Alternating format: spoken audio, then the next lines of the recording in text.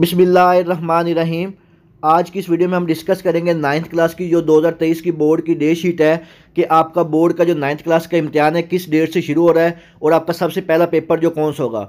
Video शुरू करने से पहले तमाम बच्चों से एक छोटी सी रिक्वेस्ट है एक दफ़ा दरूशी पढ़ के कमेंट में डन लिख दीजिएगा। अल्लाह ताला से दुआ है, अल्लाह ताला तमाम बच्चों को उनकी उम्मीदों से ज़्यादा नंबर दे और अच्छे ग्रेड के साथ कामयाब करे। जिन बच्चों की तैयारी नहीं भी है, अल्लाह ताला उनको भी अच्छे नंबरों के साथ कामयाब करे और जितनी जितनी उन्होंने नंबरों की उम्मीदें लगाई हुई हैं, अल्लाह ताला उनको उनकी उम्मीदों से ज़्यादा नंबर दे। तो अगर आपको तमाम मजामी का गेस्ट पेपर और बोर्ड की स्कीम चाहिए तो आप मेरा चैनल मोहम्मद वकास नवाज़ को सब्सक्राइब कर लें, ताकि बोर्ड के मतलब कोई भी अपडेट्स आती हैं, कोई गेस्ट पेपर आता है, कोई स्कीम कोई इंपॉर्टेंट क्वेश्चन आते हैं, वो सबसे पहले आप तक पहुँचते रहेंगे। तो वीडियो शुरू करने से पहले आप तमाम बच्चों से एक दफ़ा फिर रिक्वेस्ट है कि ज़रूर शरीफ पढ़ लें। अल्लाह ताला से दुआ है, अल्लाह ताला तमाम बच्चों को उनकी उम्मीदों से ज़्यादा नंबर दे और उनको अच्छे ग्रेड के साथ कामयाब करें। तो सबसे पहले नाइन्थ क्लास का जो बोर्ड का इम्तिहान होगा, आपका जो सबसे पहला पेपर है, ये अट्ठाईस तरीक को है। यानी कि अट्ठाईस अप्रैल को आपका पहला पेपर होगा और जो आपका पहला पेपर है ये इंग्लिश का है ये बेसिकली ये जो डेट शीट है ये नाइन्थ क्लास की टेंटेटिव डेट शीट है टेंटेटिव क्या होती है कि फाइनल डेट शीट से पहले एक टेंटेटिव डेट शीट बोर्ड जारी करता है जो कि ऑफिशियली नहीं होती लेकिन अक्सर जो लास्ट ईयर भी देखें अगर उससे पहले भी देखें जो टेंटेटिव डेट शीट होती है वही आपकी जो ऑफिशियली डेट शीट हो जाती है यानी कि बोर्ड ये वैसे एक जारी करता है कि आपका जो टेंटेटिव डेट शीट अगर इसमें कोई चेंजिंग करनी पड़े तो वो फाइनल में हो जाती है लेकिन मोस्टली जो टेंटेटिव डेट शीट होती है वही आपकी फाइनल डेट शीट होती है तो ये नाइन्थ क्लास की टेंटेटिव डेट शीट है इन शाला उम्मीद है कि आपकी जो फाइनल डेट शीट है, वो भी इसी के मुताबिक ही होगी। तो आपका अट्ठाईस अप्रैल को सबसे पहला जो है वो इंग्लिश का पेपर है। अगर आपको नाइन्थ क्लास के तमाम मजामी का गेस्ट पेपर और जो बोर्ड की स्कीम है, वो पी की फॉर्म में चाहिए तो आप मेरा नीचे दिए गए नंबर पर व्हाट्सएप करके तमाम मजामी का गेस्ट पेपर और बोर्ड की स्कीम पी की फॉर्म में हासिल कर सकते हैं। इन गेस्ट पेपर की सिर्फ़ एक हफ़्ते से तैयारी से आप इन सेवेंटी से एटी परसेंट जो नंबर है, वो आसानी के साथ हासिल कर सकेंगे। ये जो गेस्ट पेपर है, ये आपका बोर्ड का जो न्यू जारी करना पेपर पैटर्न एस एल है, उसके मुताबिक बनाए गए हैं और जो स्कीम है, ये भी 2023 की न्यू अपडेटेड स्कीम है, जो कि बिल्कुल इस दफ़ा चेंज हुई है। इसके बाद देखते हैं नेक्स्ट आपका कौन सा पेपर है? नाइन्थ क्लास का नेक्स्ट जो पेपर है, ये ट्वेंटी अप्रैल को है, इसमें बायो और कंप्यूटर का है। यानी कि जिन बच्चों ने बायो रखी हुई उनका बायो का पेपर होगा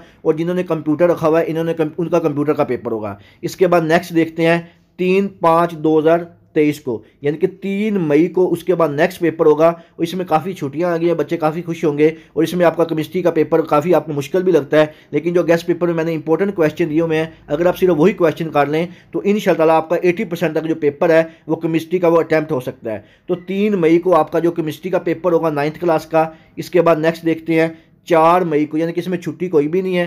तीन के बाद चार नेक्स्ट डे आपका जो पेपर होगा, वो तर्जमतुल कुरान मजीद का होगा। ये सिर्फ़ इस दफ़ा आपकी नेम बुक शामिल की गई है, पचास नंबर की। इसका अलहदा से आपका पेपर होना है पचास नंबर का। और ये जो तर्जमतुल कुरान मजीद का पेपर है, ये नाइन्थ और फ़र्स्ट ईयर का होना है टेंथ क्लास का नहीं होना।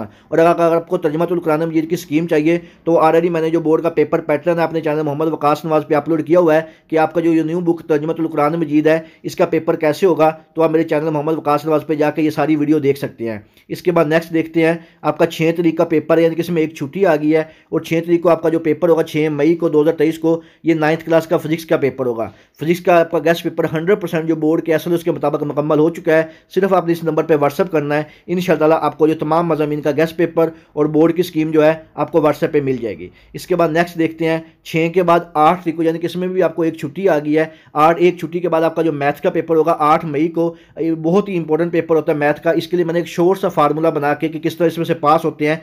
ये अपने चैनल मोहम्मद वकास नवाज़ पे अपलोड किया हुआ पासिंग फार्मूला मैथ्स का, जिसके मुताबिक सिर्फ़ आप एक से डेढ़ घंटे की तैयारी में सिर्फ़ मोस्ट इंपॉर्टेंट जो क्वेश्चन मैंने बताए हुए हैं, सिर्फ़ वही तैयार करके आप इन नाइन्थ क्लास जो मैथ का पेपर है, ये पास कर सकते हैं। अगर आपको गैस पेपर चाहिए तो आप व्हाट्सएप पर हासिल कर सकते हैं। इसके बाद नेक्स्ट जो पेपर होगा आपका, नौ तरीक को, नौ तरीक का आपका जो पेपर है, वो नाइन्थ क्लास का इस्लामियत का पेपर है। नाइन्थ नौ मई को आपका इस्लामियत लाजमी का पेपर होगा। ये जो इस्लामियत की बुक है, ये आपकी न्यू बुक है, जो इस दफ़ा चेंज हुई है। बाद बच्चे पूछ रहे थे कि सारे जो ओल्ड बुक करनी है कि न्यू करनी है। आपका जो नाइन्थ क्लास इस्लामियत की बुक है इस दफ़ा टोटली चेंज होकर न्यू बुक है, और इसका पेपर होगा। इसका भी पेपर पैटर्न मैंने अपने चैनल मोहम्मद वकास नवाज़ पर अपलोड किया हुआ है, और अगर आपको पीडीएफ की फॉर्म में चाहिए तो आप इस नंबर पर व्हाट्सअप करके इस्लामियत का जो पेपर पैटर्न है, वो हासिल कर सकते हैं। इसके बाद नेक्स्ट जो है, ग्यारह मई को आपका उर्दू का पेपर होगा ये आसान पेपर होता है, इसमें मोस्टली बच्चे पास हो जाते हैं। इसके बाद आपका जो लास्ट पेपर होगा, ये बारह मई को होगा। इसमें भी कोई छुट्टी नहीं है। ग्यारह के बाद बारह मई को आपका लास्ट पेपर होगा पाकिस्तान स्टडी का।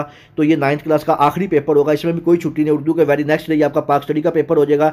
तो ये थी आपकी नाइन्थ क्लास की जो बोर्ड की टेंटेटिव डे शीट है दो हज़ार तेईस की। इन शाला उम्मीद है कि इसी डे शीट को फाइनल किया जाएगा। इसके अलावा अगर आपके जहन में किसी किस्म का कोई भी सवाल हो, आप मुझसे कमेंट सेक्शन में पूछ सकते हैं। अल्लाह ताला से दुआ है। अल्लाह ताला तमाम बच्चों को उनकी उम्मीदों से ज़्यादा नंबर दे अच्छे ग्रेड के साथ कामयाब करें। दुआओं में याद रखिएगा। जजाक अल्लाह अल्लाह हाफिज़।